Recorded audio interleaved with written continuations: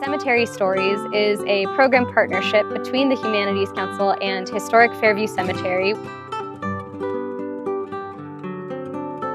Historic Fairview is um, located in Albuquerque. It is Albuquerque's oldest cemetery, uh, incorporated in 1881. And there is just so much rich Albuquerque specific and also New Mexico specific history here. I'm Bethany Tabor. I am a program officer at the New Mexico Humanities Council. Cemetery Stories is a story slam that gathers around members of the community from Albuquerque and around New Mexico. It highlights the history of Albuquerque with an oral history walking tour, and it also allows community members to take to the main stage and express their stories and experiences with loss, grieving, memorial, death, and dying. And it's designed to draw people together in the cemetery to reinvigorate life into the cemetery and uh, acknowledge the universal experience that we all have as humans. Hello, I am Reverend Thomas Harwood, pioneer pastor and educator in New Mexico, and formerly the chaplain of the 25th Wisconsin Volunteers. I joined early on as a way of fighting the Southern Rebellion and finally, once and for all, freeing the slaves. Well, when the war finally ended, I came home. I had met Emily before that. We were able to, to finally be together after all that time. This is the Harwood plot where Emily and I both rest now. In 1866, the United States Army formed the 9th and 10th Cavalry and the 24th and 25th Infantry Regiments.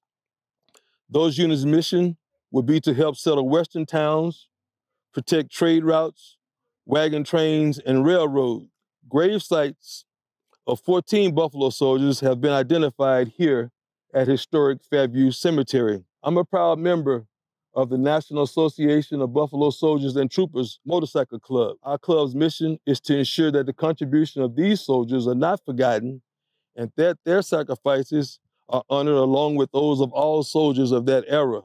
So I wrote a book called Haunted Albuquerque, and this place is in it. So hauntings are basically elements of the past that repeat. Then you have the bystander type.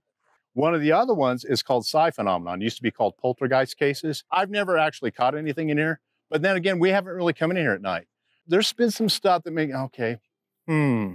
But yeah, it's just fascinating getting into the history of a lot of ghost stories. It took me many years to realize that all of the positive aspects of my life, such as they are, were gifts given to me by my mom.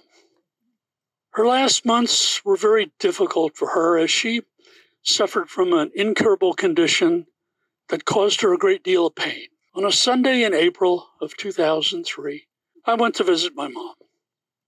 Now, once again, she told me that she wanted to die. For the very first time, I heard the sincerity and seriousness in her voice. And I told her it was okay, that when she was ready, she should go. Of course, her concern was not for herself, but for me. And she told me that I don't want to interfere with your plans. I told her, don't worry about my plans. I'll be fine. Whenever you're ready to go, you should just go.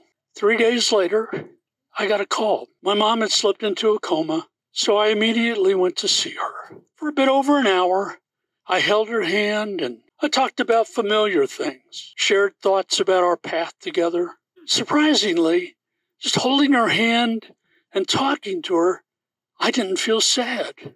I felt my mom had finally found the peace and contentment for which she had long been searching.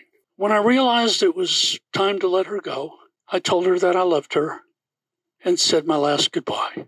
Within an hour of my leaving, she just simply slipped away. Throughout my life, my mom and I exchanged many gifts starting with her giving me the gift of life.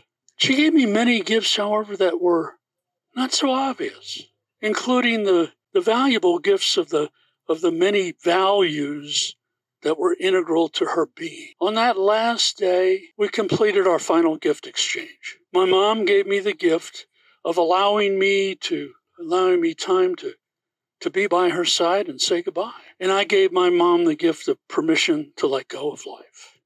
In the spring of 2015, I decided to go and be with my father in the place where his spirit shined. He had Parkinson's, and then he admitted to me that second spring that I was with him in Argentina in Buenos Aires. He said, I've got to go back to the States because I've got to get my white blood count done because I've got leukemia and it might go up. It was three days before he died, three days, and we had all the family had come. He wanted us to lift him up and that he was going to walk, he was going to do it. So we tried, but his weight was so great that he crumbled under his weight. And at that point was the first point I'd ever seen my father surrender. And he went into a deep coma, into a deep sleep for several days. We held his hand and we were there, but then it was his final breath, and he gave this ah, final breath of leaving the body. And at that point, I can see him. He's finally that gaucho, that cowboy that's riding the plains Las Pampas de Argentina, and he was riding forward, no reins holding him back, fearless, free. And I just whispered, ever so slightly, You did it. You finally did it. You're free. Thank you. My grandfather died when I was 11 years old of lung cancer. I had never seen a corpse before. I reached out and I touched his icy cold hand and I burst into tears. I totally burst into tears. Decades passed and I avoided death. I avoided funerals. I avoided cemeteries like the plague. In the early 90s, I decided I would make a surrogate amend to a dear friend of mine. His name was John, and he was dying of AIDS. My commitment was I'll be there for you in whatever way I can. And sometimes he was with us, and sometimes he was not. All I can do is just be here for John, just really be here. That's it. The day of his funeral, we had to convince a Cuban mortuary to take his body.